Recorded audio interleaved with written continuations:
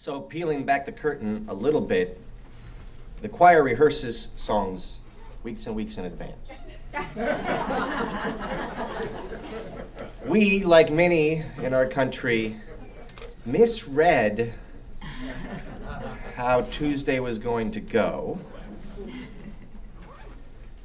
And so that song may feel a bit out of context, but it also speaks kind of a truth.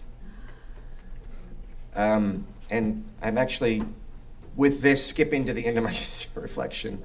Um, there's the hashtag coming up soon, by the way.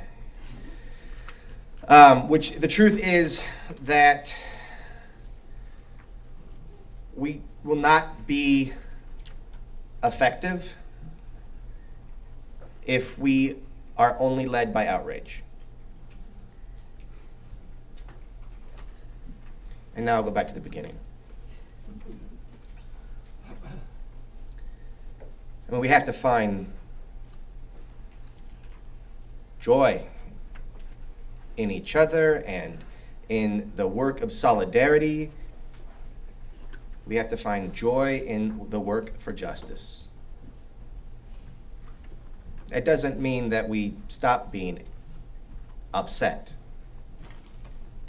but it means that we are not clouded by outrage or fear. And that's not easy. Uh, going back to last week, uh, we talked about how Unitarian Universalism lacks a central story, lacks a pantheon, lacks a personality uh, that would help us persevere in dark times, little knowing how soon those dark times would be upon us. Story is, is, is so powerful. We, as human beings, are the storytelling creature, and yet we, as Unitarian Universalists, do not avail ourselves of this very, very powerful tool. So, where do we find our power? Where do we find our sustenance in the dark night?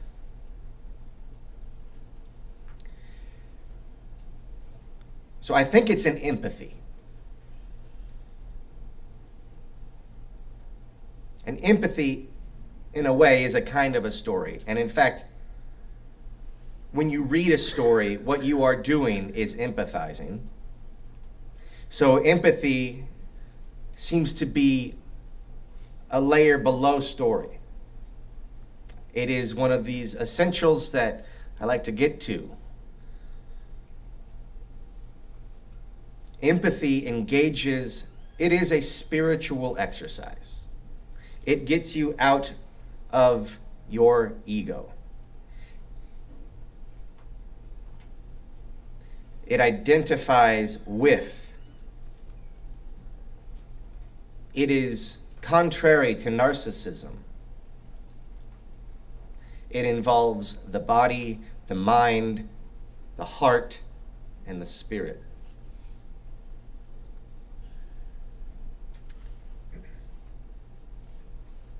Now, to empathize with another is impossible without having a resonance of that other inside of yourself.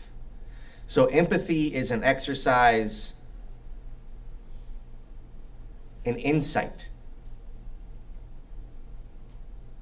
It is a practice of mindfulness. Empathy creates a bond between people. The word religion comes from the Latin word religare or something like that. I never took Latin.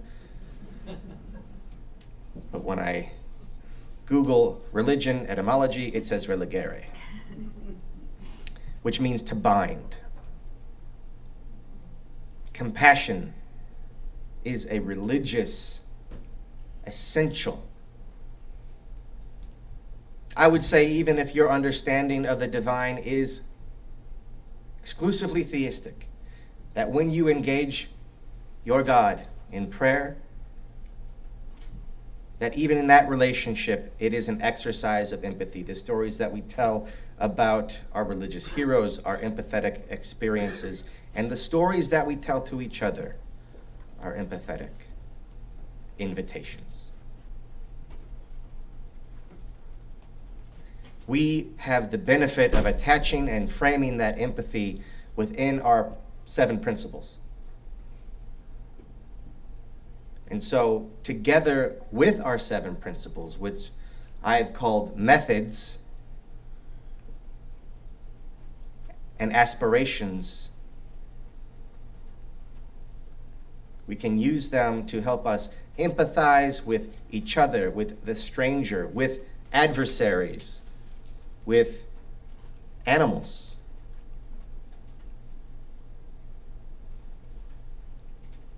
With the web of all existence and all beings within it.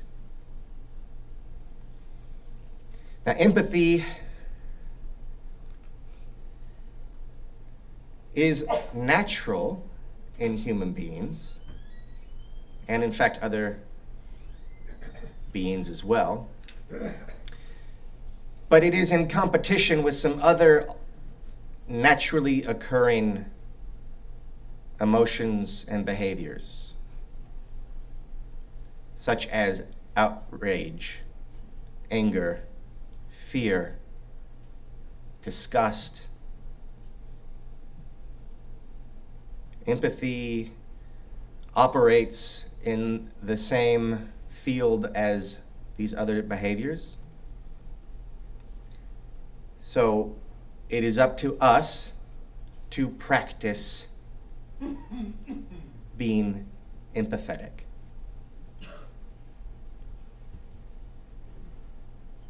Now, our culture is currently awash in anger and outrage and fear.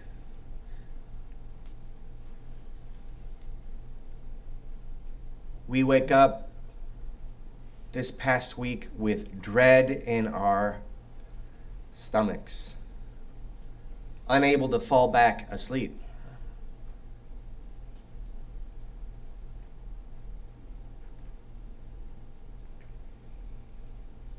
We need to practice empathy. Our culture is awash in outrage, anger, and fear.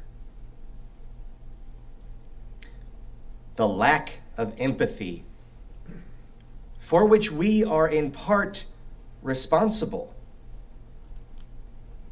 has put our nation in a dark place. I do not think that we were listening very well to people who were expressing pain in ways that were off putting.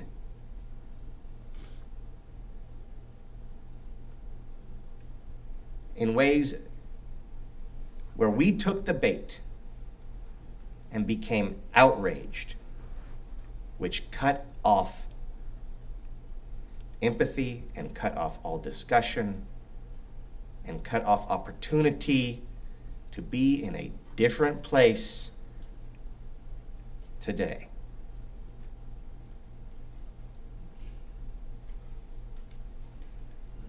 I don't mean here that we need to convince other people, the idiots and fools and racists and bigots and misogynists, to be empathetic, although we do, but we also need to work on our own empathy to find out what is going on, what is behind this terrible emotion that you're feeling.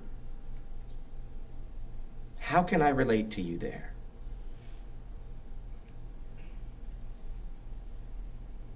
Those emotions and behaviors are not expressed by people who are healthy and whole or happy.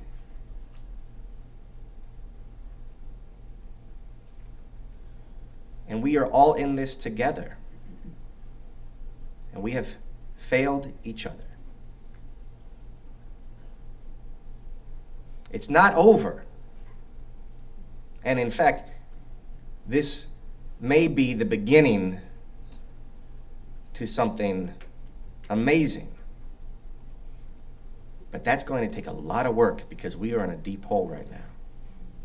The first step, I think, is listening. And it's also a good test. You cannot listen through outrage. You can listen through heartbreak. You cannot listen through fear. You can listen through faith. That deep trust in meaning and values. That I, I'll argue with our principles that it is more than just promotion and affirmation of the worth and dignity of all people, it is deep trust in the worth and dignity of all people.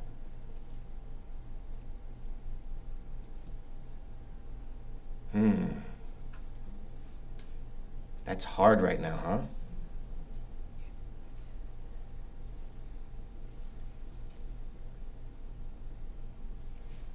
Well, it's hard right now.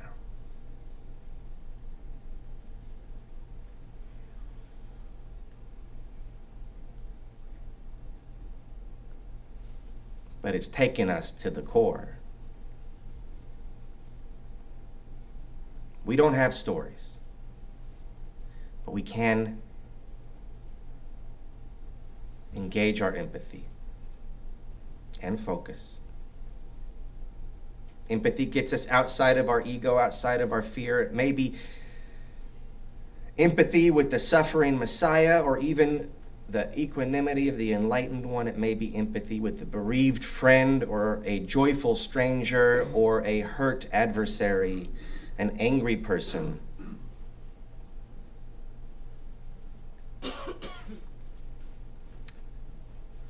But we are called to it now.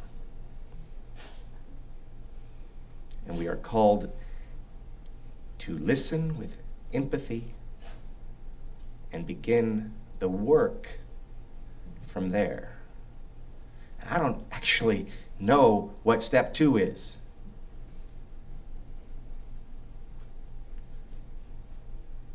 But I think step one is engaging with compassion and love as much as you can. Not being blinded by outrage, which doesn't mean not feeling it, but just not getting hooked by it. Not letting it make your decisions.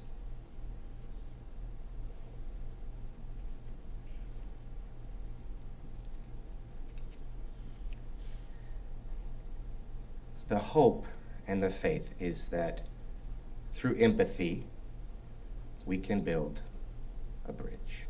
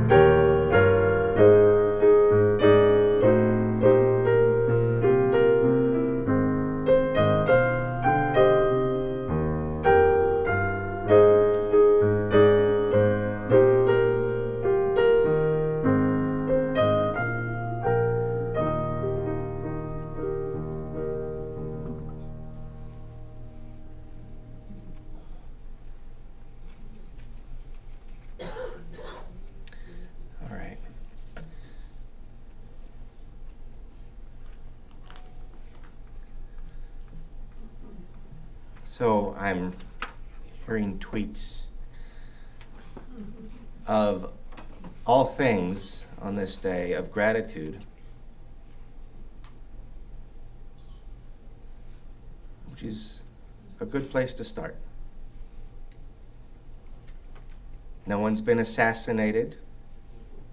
There are no tanks in the streets. And democracy is not perfect. But we have democracy. Of course, democracy is a religious principle of ours, a sacred right and an exercise of our religious values. So we have some religious work to do. I'm also being reminded that practicing empathy allows us to write better stories for ourselves and for the world.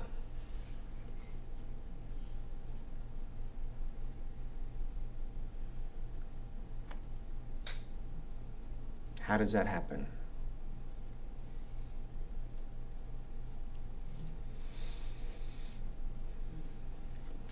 We connect. We learn to communicate. We learn to listen better. Hopefully, we model listening so that others learn from our example. This becomes a spiritual practice and not an easy one, and not one without danger, emotional and otherwise. But this is the path that lies before us as a congregation, and as individuals, and as a nation. And how lucky are we that we have this place to gather, to mourn, to galvanize ourselves, to take comfort and get strength to be angry, to vent, and let ourselves return to a place of power, which is a place of peace.